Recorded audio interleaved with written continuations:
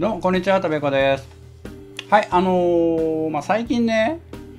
えー、これ、あのー、PS5 のコントローラーなんですけど、まあ、デュアルセンスですね。これのね、調子がね、ちょっと良くないんですよね。まあ、どう良くないかっていうと、あの、操作してない時でも、勝手にね、こう、動いちゃったりするんですよね。するんですよ。まあ、どんな感じかっていうと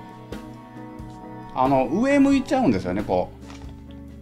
う上向いちゃうんですよね。えー、まあ、どんな具体的にどんな現象かっていうのをちょっとあの映像を流しますけども、まあ、こんな感じでね、えー、視点がね勝手にこう上向いちゃったりするんですよね。まあこれあのまあ、最近ね APEX よくやってるんですけど、まあ、なんかねドリフトっていうらしいですねこの現象のことを。操作してないのに勝手にこうねあの動いちゃうみたいな。でまあこれね、まあ、左と右スティック2つあるんですけど、まあ、おそらくどっちかが悪いんではないかと思うんですけどどうなんでしょうね。まあ、おそらくね、視点がこう動いちゃってるんで、まあ、右の方かなっていう。まあ、カメラ操作は僕右になってるんで、おそらくは右の方のスティックが何かしら不具合が出てるんではないかと思ってるんですけど、まあ、これね APEX のその設定の問題かなと思って、まあ、あの他のゲームとかやってみたんですけど、まあ、APEX ほどではないんですけどやっぱりねちょっと似たようなあの現象が出ましたのでまあ間違いなくこいつのせいではないかということなんですよね。はい。まあ、APEX とかねこういうゲームでこんなことになっちゃうとねちょっと致命的なんでねあのー、まあ酔います。あの気分な気分悪くなっちゃうんでね、まあ、目の前に敵いるのにこうあの上向いちゃったりしてね上にこう 打ってしまうわけです。ねまあ相手からしたら何してんだこいつみたいな 感じになっちゃいますんでね。これはねちょっとなんとかしないとっていうことでですね、まあ、一応ねあのまあもともと1年間の保証がありまして僕買った時に保証延長してあるんですよね。なので一応保証期間ではあるんですよね。であるんですけどまあその修理に出すとね結構日にちかかると思うんですよね帰ってくるまで。ね。まあ、待てればいいんですけどね。まあ、結構ね、日にちかかっちゃったらね、その間ゲームできんくなっちゃうんで ね、それはちょっと困りますよね。で、まあ、新しいの買おうかなとも思ったんですけど、結構高いんですよね、これ。普通にあのゲーム、最新のゲームね、1本買えちゃうような感じの値段なんで、まあ、簡単にはね、買えないですよね。はい。ということで、まあ、あの修理に出さずに、まあ、なんとかしようと思いましてですね、いろいろちょっと試してみましたので、まあ、その、まあ、僕がね、やってみたことを、ちょっとあの紹介していこうかなと思います。で、あの結果としましてですね、一応改善はされたんですよね。あの前ほどはひどくなくなったんですよ。まあ、要はマシになったということなんですけどただね完全には治ってないと思うんですよね。その、まあ、動く程度は小さくなったっていう感じですね、まあ、若干ね動く時あるんでだから完全には治ってないんですよ。だからまあ、マシにはなったんで、まあ、ちょっとね、様子見てですね、えー、まあ、これで、あの、よくならなければ、あの、まあね、修理に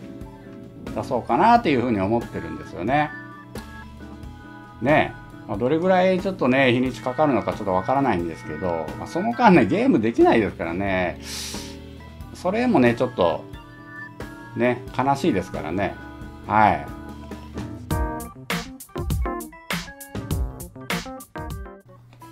はいそれではですねあの実際に僕がそのまあやってみたことをねあのご紹介していきたいと思います。はい。えー、まず一つ目はですねえー、一つ目。一つ目はコントローラーを叩く。あの叩き方もねあの一応コツがあるんですよ。えー、まあ大体ですねこう斜め45度上からこう叩く。叩いてみる。あの昔ねブラウン管のテレビとかでその、まあ、映らなくなった時にですねこうテレビをねこう叩いたらあの映るようになったこととかってないですかね。ないですかね。あのそれと同じなんですよね。このコントローラーもちょっと叩いてみるとあの調子が良くなるらしいです。はい、えー、失礼しました、えー、本題に入りたいと思います、えー、まず1つ目ですね。1つ目はあのコントローラーをリセットする、えー、まあ、初期化ですね、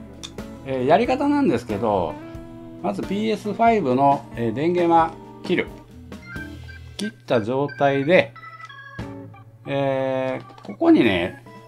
コントローラーの裏面にリセットボタンがあるんですよね。あのかなり穴ちっちゃいんでここなんですけどね。はい。これをまあ、爪楊枝とか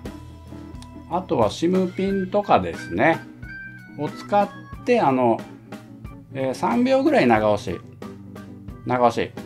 しします。で、えー、まあ、長押しした後にですね、えー、PS5 とつないで、え電源を入れてもらってですねであの、まあ、いつも通りですねこの PS ボタンを押して、えスタートすると、えー、まあ、OK という形ですね。これであのコントローラーのリセットができますので、それで改善することもあるらしいですね。はい。それがまあ一つ目の、えー、やり方ですね。で、あの次なんですけど、えー、まあ、スティックね、スティック。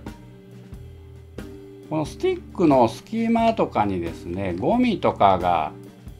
ついててまああのその勝手に動いちゃう原因になってる時も、まあ、あるみたいなので、まあ、僕の場合はですねそのスティックの隙間をあのあれ。あの僕はねカメラのそのレンズのほこりをねこう拭いたりするのに使ってる名前何でしたっけ？名前出てこない。こうエア吹くやつね。あれを使って、まあ、スティックをですねこう回しながらこう隙間を、えー、拭いていくであの、まあ、ゴミを飛ばしていくっていう感じですねはいはいそれとですね、えーまあ、3つ目ですねまあ、これは実際にやったことではないんですけど、まあ、確認しておくといいんじゃないですかね。そのアップデートでですね、このコントローラーが、そのアップデートでコントローラーのアップデートもあるらしいんですよね。なので、まあ、PS5 の、えーまあ、PS5 をですね、その最新のものにアップデートされてるかどうかを確認しておく、まあ、最新のものでなければ、えー、最新のものにアップデートしてみるっていうことですね。それで改善できることもあるんですかね。まあでも大体の人はね自動でアップデートされるようにはしていると思うんですけどね。はいという、まあ、3つのことを試しましてですね一応ね改善はされてますんで、まあ、実際ねどれをやって改善されたかっていうのはちょっとねあのー、分かりかねるんですけど、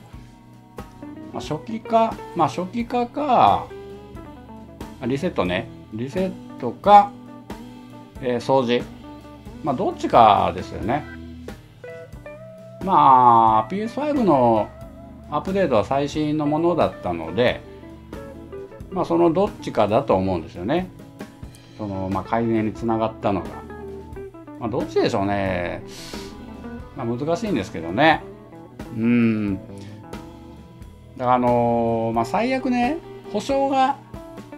保証がなければですね。なければ分解してあの綺麗にね中を掃除してみるっていうのもありだと思うんですけどそうするとですね最悪保証をね受けれない可能性もあるじゃないですか。もし万が一ねこうばらして何かあった時ですね。何かあった時はその、まあ、自然的な故障ではないのでね保証を受けられない可能性もありますのでちょっとねばらすのはねちょっと怖いんですよね。だからばらさずにあのなんとかしようと思ってまあそれをねちょっと試してみたっていう感じですね。だからそのばらしたくないけどあのなんとかしたいっていう人はあの一度試してみてはいかがでしょうか。はい。はいということでですね、えー、今回の動画は以上になります、えー、少しでもね参考になったよと思われましたら、え、グッドボタンえー、チャンネル登録をよろしくお願いします。はい。いや、これでね、あの、しばらく使えたらいいんですけどね。まあ、これ以上ひどくなったらね、もうさすがに修理、あの出すか、買い直すかっていう感じになると思うんですけどね。いや、まあ、1年ぐらい使ってますんでね。まあ、でもそろそろね劣化してくる時期なのかなというのはあるんですけども。